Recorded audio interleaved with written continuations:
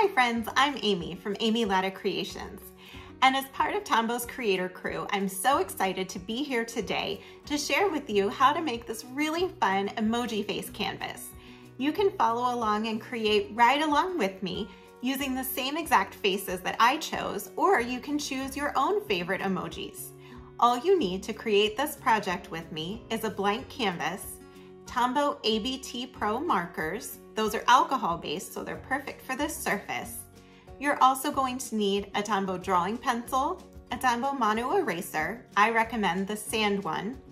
And you're gonna need a detail paintbrush and some white acrylic paint. Once you've gathered your supplies, let's get started. The first step is to create circles for our emoji faces. I'm using the lid of a mason jar and I'm gonna start off in the center of my top row and I'm just going to gently trace the shape. Then I'm going to do one underneath in the center of my bottom row. Then work my way out to the sides. This way I make sure that all six faces fit on the canvas. We just want to do this as lightly as possible with pencil and then these marks will get erased later after we fill in our faces with marker. Now that we have our circles, the next step is to fill them in with color. All of the emojis that I've chosen are faces, so I'm using P025 Tombow ABT Pro. These markers are dual tipped, so you can use either the brush tip or you can use the chisel tip to color in, or both. Tombow ABT Pro markers are also alcohol based, which means that they're permanent on surfaces like canvas, as well as wood, metal, plastic, and lots of other surfaces. This makes them a great choice for projects like this one that are off of the paper page. We're going to continue doing the same thing until all six of our circles are colored in. If you've chosen to do different kinds of emojis, of course, you're going to be coloring those in whatever shades they require. If you happen to make a mark outside of the lines, like I did, never fear. The Tombow Mono Sand and Rubber Eraser is going to be your new best friend. The sand is gritty and it gets down in the particles of your surface and removes things, even permanent ones, like the ABT Pro. So now we have our six circles. I don't know about you, but I think P025 is pretty much a perfect emoji color. But if you've ever studied your favorite emojis, you might have noticed that they're not solid colors. In fact, around the outside edges, they have a little bit of a yellow, orange, darker shade blended in. So we're gonna use P993 to do that for our emojis. So we're just gonna go around the outside edges and we're gonna blend a little bit of this darker shade in. Just kind of outlining right along the sides there. And we'll do that for all six faces once again. Now once our marker is dry, we can go back in and erase those pencil lines that we don't want to see. Once this step is done, it's time for the most fun part, which is adding the facial expressions to your emojis.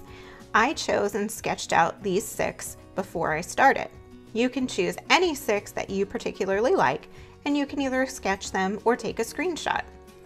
Then we're going to lightly pencil these faces on top of our yellow circles.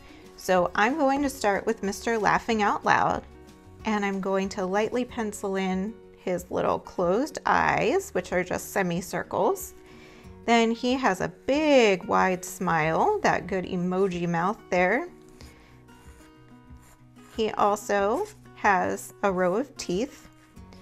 He has tears coming off of his face that actually extend outside of the circle a little bit. So we want to make sure that we go into the white part just a bit. And then he has these little expressive eyebrows on top. Now I'm going to trace over these so I'm going to actually be using not a black marker, but the PN35, which is a really dark gray, because if you've ever studied your emojis, you know that they're not actually yellow and black, they're yellow and a really dark shade of gray brown. So I'm going to use this and I'm going to use the chisel tip to come in and do my details here and fill in the bottom section of the mouth. I'm going to leave the top part alone right now other than outlining it. And color in that bottom section and you can do that again either with the brush pen portion or continue with your chisel tip. Of course, if you want to use other colors, you're certainly welcome to do so, but I want mine to look just like they do on my phone, and this, I think, for me, is the closest that I could get. Now I'm gonna color in his eyebrows. He's really enjoying himself there. And then I have two shades of blue. I have P491, and I'm gonna do that first. And you'll see that it kind of blends in with the yellow a little bit, but eventually turns that light blue. And then on top of that, I'm going to use P452. And this is a nice teal color. And that's gonna give me those laughing teardrops. And you'll notice that if you look at that emoji, the teardrops are a little darker on the bottom. So I'm just gonna layer a little bit more color down there at the bottom. That's one way that you can blend with these markers is just by layering more of a color in one spot than in another. And there we have our laughing friend, except for the fact that we're gonna need to go back in with a white paint pen for his teeth. If you want to think ahead and sketch the face first, you could leave that part just blank canvas and that would save you the step of adding the white paint pen. You can also use a small detail brush and regular white paint to fill in this section and make your emoji complete. Some of these guys also have little white highlights in the hearts, on the tears, or in other places. So anywhere that you see white highlights, you can feel free to take your detail brush and add them in with your white paint. And there we have Mr. LOL. I think my favorite emoji, if it's not Mr. LOL, would be the heart eyes. So I'm going to sketch those heart shapes, which are actually a little bit on a diagonal. And this one, the mouth is entirely that black or dark brown, dark gray color. So we don't have to worry about the white paint on this one. Then I'm going to take P845 and work on coloring those big red hearts. So I'm just gonna trace my pencil outline and fill it in with color.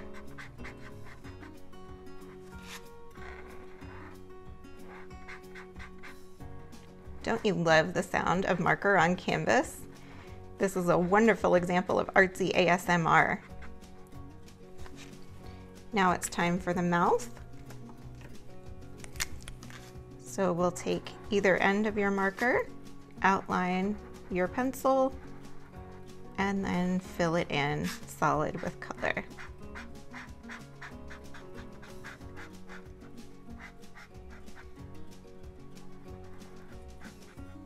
Before we move on, this one does have some highlights in the heart eyes themselves up at the top. So I'm going to take my detail brush and my white paint and make that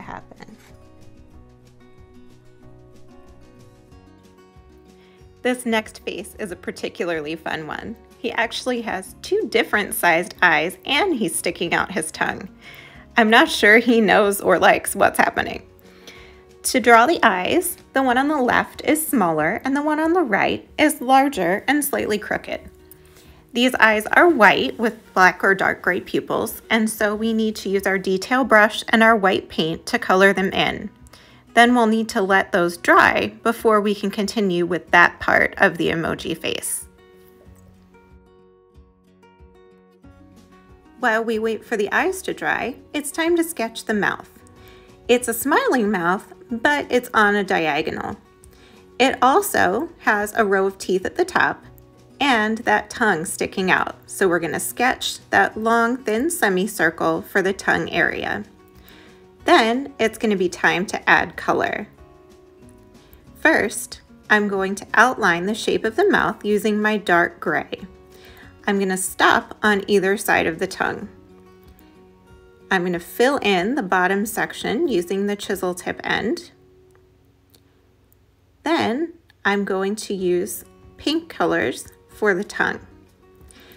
When you're using alcohol-based markers, one thing you'll notice is that because the alcohol evaporates when it touches the surface and hits the air, the color is going to look a little bit different when you first apply it than it does when it's dried. That's why I like to swatch my markers ahead of time. I'll scribble them on a little piece of scrap paper to see what they look like when they're dried. That's how I chose this particular color for the tongue. Now we go back and add the white for the teeth using our detail brush and white paint.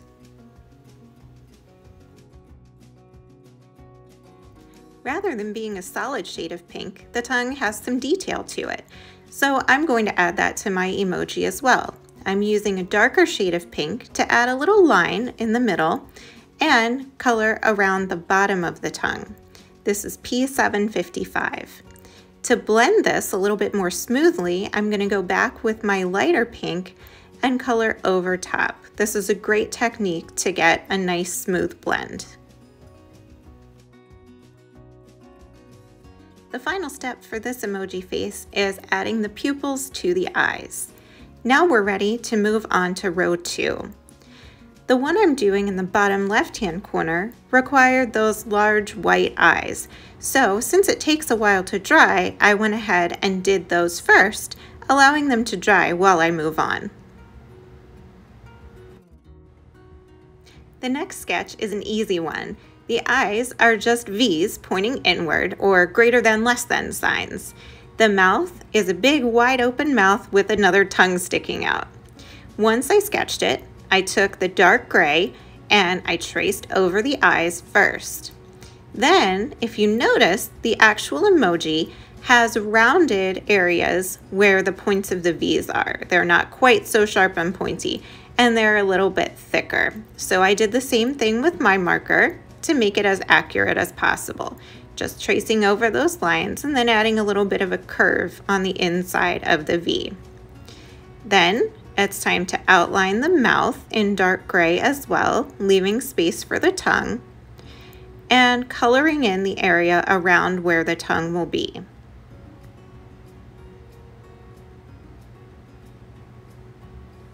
We'll use that same light pink for the first step of the tongue, coloring it in a solid shade. And then we'll go back with our dark pink, adding that detail line down the center, coloring a little bit around the edges, and then blending by coloring again with the lighter pink color. This gives us a much better blend and a more realistic looking tongue.